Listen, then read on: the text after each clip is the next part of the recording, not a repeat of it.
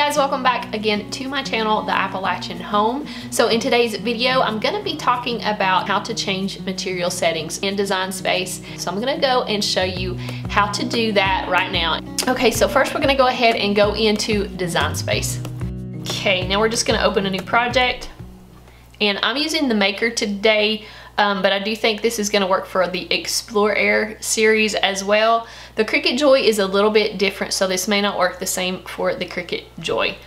So we're going to go in and I'm going to select an image just to show you how to change the cut settings. And I'm just going to select this image here and insert it into my canvas. Okay, so now we have an image pulled up. I'm going to go ahead and go to Make It and hit Continue. Okay, so for those of you who do not know how to select a material setting, you just go into Browse All Materials, and there it brings up a drop down box. You can choose your material. You can also type in Search All Materials and search whatever material you are using, whether it be vinyl or cardstock. So I want to use vinyl, um, and let's use premium vinyl, which is what I mostly use for Cricut brand material. So now we have our material set to premium vinyl and we've cut our image out, but what if our image is not cutting perfectly through? I will show you an example of what this looks like. Here I have a really detailed decal that has some really tiny circles and they're not sticking to my backing, they're pulling away. So I'm going to need to adjust my pressure either up or down to um, perfect this cut. Okay, so if this happens, the first thing you can do to adjust your material settings is go into your pressure.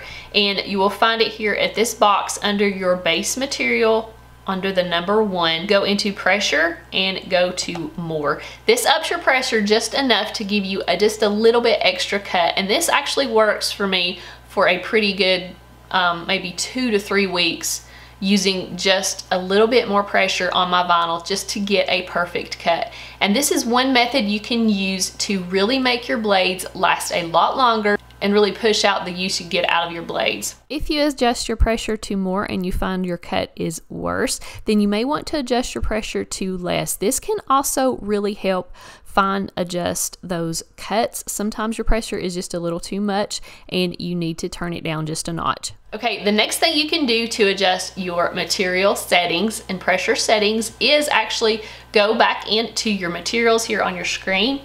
Then you'll go to Browse All Materials. You want to go to the bottom of the screen and click Material Settings. That brings up your custom materials box. From there, you can scroll down through all of the different materials to find the material that you're working with that you want to change the settings on. So for this example, I want to change the settings on premium vinyl. So here's my premium vinyl. Now you'll notice it has three different adjustments here. See, there's a cut pressure, a multi-cut, and a blade type. The cut pressure is the pressure your blade is pushing down on your material. The multi-cut just means how many times you're gonna be cutting over your design. So you can actually change this to do two or even three times or more, depending on what material you're using. And then of course your blade type, you have a fine point blade, a deep point blade, a knife blade, so you can also change those as you need to. The first thing I like to do is change the cut pressure. So I'm gonna go down here to premium vinyl so under premium vinyl, the cut pressure that Cricut has set is 107.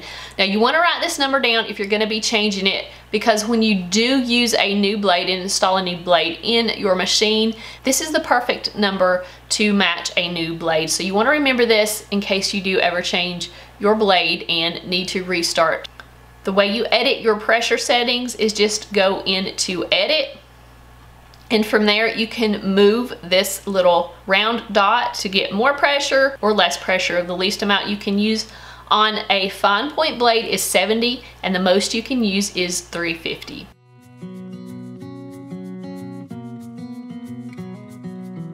And just remember that 107 if you're gonna adjust that pressure so that you can change it later. When you're adjusting your material settings, I would start with increments of 5 to 10 to 15 um, so that you can kind of find that perfect number that you need to make a really great cut. Okay, and the third thing you can do under material settings is actually go to browse all materials again. And now I just want to go ahead and create a brand new material. Um, this is handy if I'm wanting to remember the pressure settings I have for a blade that is like two months old. So I wanna go here to the bottom of the screen, go into material settings, and now when you scroll all the way to the bottom of that screen, there's a green box that says add new material. And from there, you can give it a name. So for instance, premium vinyl two month blade. So I can save that. Okay, and now you can really fine tune your um, pressure settings to whatever you want them to be. So first I'm going, so we know our premium bottle was first set on 107 if I have tested my material at 115 and it cuts perfectly, then I'm gonna set my new material to 115. Also, if you're working with another material such as stencil material, I did a video I'll link above about stencil material, you can also adjust how many times you're gonna be cutting over that material. So for instance, if I go to the multi-cut box, which is this box here in the middle, right now it's set to off. That means it's gonna cut one time at a pressure of 115.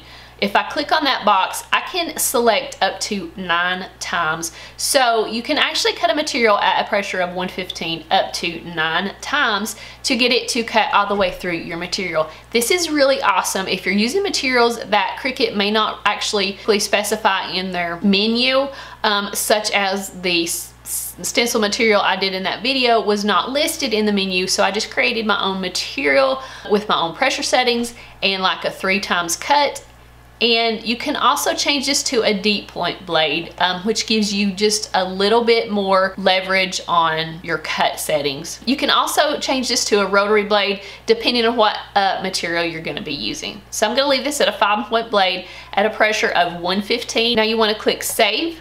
Now when you're going to select your new material, to go into browse all materials, I'm going to type in premium and I'm just gonna leave it at that because it's gonna bring, bring up um, all the items that have premium. So here I found my premium vinyl two month blade. If you go over here to the star and select the star, that puts it directly in your favorites menu. And now it has brought this premium vinyl two month blade up in the top screen. I don't have to look through all my materials anymore. I can just select it and cut.